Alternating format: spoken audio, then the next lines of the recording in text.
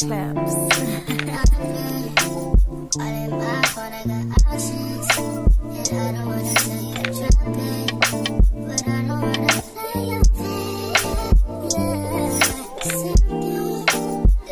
Tea Squad. So legendary gossip blog, Gossip in the City is back. Um, Fee, who runs Gossip in the City, she took a break for about maybe six, seven, eight months, if I'm not mistaken, to focus on other things. But baby, when she came back, she came back with a bang. All right. So she exclusively um posted text message receipts from Iman Shumpert's alleged side chick okay? Now uh you know news came out last week via Teyana taylor confirming that she and Iman have separated for quite some time now. They're still good friends great co-parents great business partners and that they're you know excelling in separating. Well um, like i said the side chick sent Fee text message receipts between she and Iman, I guess from when him and uh, Teyana were still very much in a relationship because these text messages were very revealing. Okay, so before I read you the text messages, Gossip in the City wrote Iman Shumpert's side chick releases receipts of their relationship since February up until August of this year. She claims to have been around Teyana's kids and around Iman's mom. We do have proof pictures of it, but chose to keep the kids out of it. We have we have been releasing receipts of Iman cheating on Teyana since 2016. Not sure if y'all can count, but that's at least seven years of cheating on his wife. Now, I gotta admit, she has posted uh, receipts of him cheating, you know, but they always said that it was lies. So let's look at the conversation between the side chick and Fee from Gossip in the City. So the side chick is in gray and Fee is in blue. The side chick says, hopefully that's enough receipts. She put recipes, child. Maybe it was autocorrect. I'm going to give her grace. hopefully that's enough receipts for you. He definitely had me around them babies. Fee says, thank you. That's a little much to be around the kids. The girl says, I agree. He really was my dog, really is a good person. He flew me out, but his friends are weird. He hangs around a lot of chicks and he gossips. I can see that. They've been at it for a while, so I'm not surprised. The whole time I was with him, she never called him. She called his mom on her birthday. I was at his mama's house. Okay, so this is must have been when they'd already separated because Fee said that they'd been talking since February of this year up until August. Mm, okay. The conversation continues, and the girl said, He said her camp has a lot to do with these stories that are put out. Fee says, How else would be talk bad about her? Okay, that was typos on Fee's part. The girl says, like, saying she really doesn't support his decision. She talks crazy to him, like, be trying to fight him, that he always has the kids, and the kids spend more time with him, that she's like real uptight. He likes people that's down to earth. Mm. Hmm. Oh, I hope not. But Teyana seemed like the type that would try to fight you. she really honestly does. I can see that. But um, you know, when dudes get the pillow talking about their wife or their girl or whatever, you know, sometimes they do exaggerate, or he could very well be telling the truth, but we don't know. She also goes on to say he brought 15 cars. They argued about that. He was saying how she needs to appreciate him, or if she doesn't, then he's out. Um, ma'am, I would be arguing with you too if you bought 15 cars. You can't drive them all at once. What do you need 15 cars for? That's stupid and it's a waste of money. It's a waste of money. That's not a good investment at all. So I understand totally where Teyana is coming from on that aspect. Like that's dumb.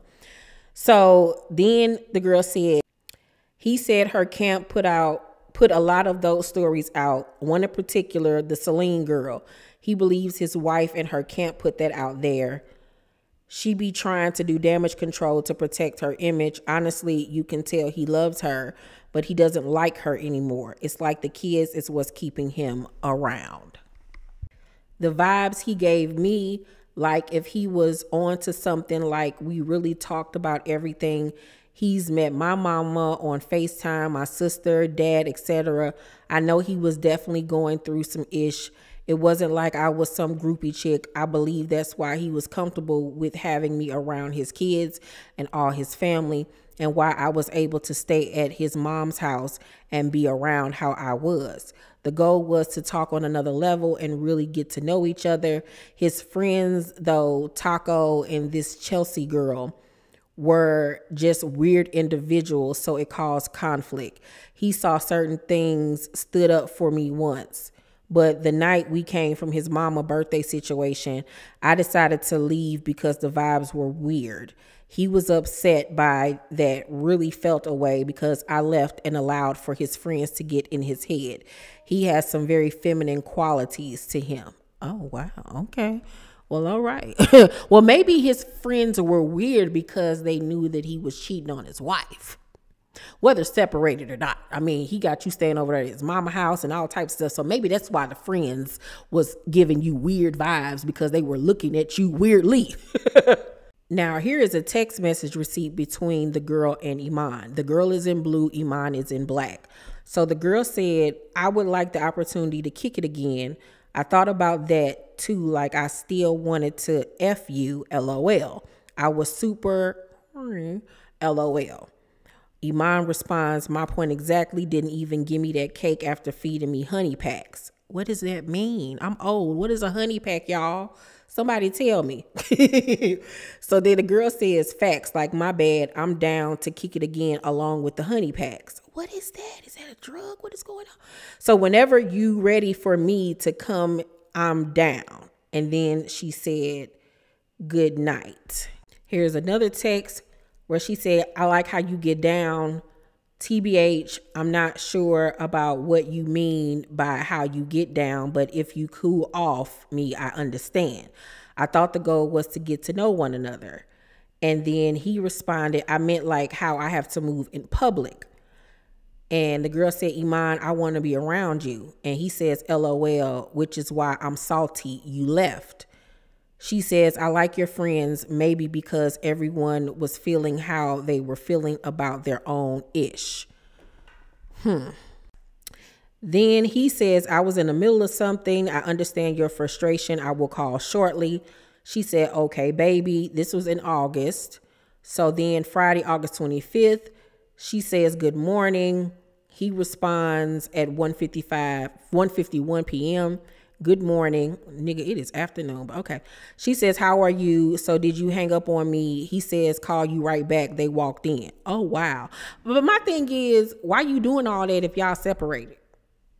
Maybe it was business people or some i don't know. But anywho so she said it's okay. Your mind is already made up. So anything i say about how things were weird doesn't even matter. I'm not stressing it. It is what it is. Like you said i ain't losing no sleep. Enjoy your day Oh, she mad, honey. She feeling some type of way. Then she said, thinking of you, LOL. Monday, August 28th at 10.06 p.m. He said, Lord, with heart eye emojis. And he said, no, she says, LOL, I miss you, baby. And then he responds, miss you too. She says, hope to see you soon. Tuesday, August 29th at 3.50 p.m. She says, good afternoon. Um, he responds at 2:19 a.m. the next day and said, "Y'all in these damn roses, lol." And she responds on that same day at 10:04 a.m. saying, "LOL, it be feeling good." Oh. So they must have FaceTime where she sent him a video of her using the rose vibrator. Girl, y'all nasty. and then in the last one, you see, I don't, I guess this is a FaceTime that they were doing, and you see Iman sitting like on a bed, and you see sneakers and stuff on the wall behind him. And you see her say Iman like good morning or something is covered up by the screenshot. And then uh he says, Good morning, can I call you? She says, Yes, please and then it says something like, I'm calling you. Child, this is a mess. Well, when Iman got wind that she gave all of this information and tea to Gossip in the City, he reached out to her and he was quite angry. Let's take a look at what he had to say. So he said, uh, not sure why you called, don't. Inshallah, huh? After that fake A, lame A, bottom of the barrel A, BS you did, you're a joke, a mistake to have been in my space. She then says, You're a mistake to have been in mine's. You're a joke. How you think I felt? I felt used, Iman. Oh, so that's why you did it because you felt used. How you gonna feel used, girl? You knew this man was still married, whether they were separated or not. Like, girl, if you gonna do it, do it and keep your feelings out of it. Like, girl, no. And then you want to call yourself exposing him because if you felt some type of way. You got yourself involved in this situation knowing what was going on. So, girl, have several. But anywho, let's continue. He says, disgusting move, but I should have knew when you mentioned love and hip hop. Oh wow, she trying to get on the show. I truly don't wish you luck. he said, I truly don't wish you luck. You suck. and you lame to me for that. Not you suck. That is funny to me. He said like truly corny after swearing you not the type uh after swearing you're not that type of person. It's exactly what you are. It's gross. Well, at least he ain't like calling a bunch of bees and this, that, and the third, but his verbiage cracks me up. Then she says, and you swore you wasn't a certain type of person that you were, in fact, that. I don't believe in luck. He says, whatever you say, I won't be contacting you. Okay, forget the luck. Bye now. Girl, they still like each other. They still gonna be talking after this child. So then she says, That's fine. You already wasn't. You got what you wanted. It seemed like you played me. It's cool. I wish you well, though, with a kiss emoji.